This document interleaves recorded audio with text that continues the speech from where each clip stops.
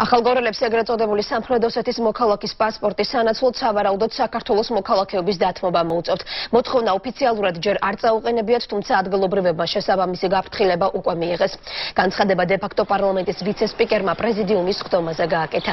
იური ძიცოითის თქმით, ახალგორელები ოსური პასპორტის აღებისგან თავს იკავებენ, რადგან შეშობენ, რომ საქართველოს მოქალაქეობასთან დაკავშირებით პრობლემები შეექმნებათ. ეს ასეც იქნება და ადრე თუ გვიან საკითხი ძალიან მკაცრად დადგება. განაცხადა დე-ფაქტო ვიცე-სპიკერმა. დღეისთვის არსებული მონაცემებით ახალგორში ეგრეთ წოდებული ოსური პასპორტები უმეტესად პენსიონერებს აქვთ აღებული.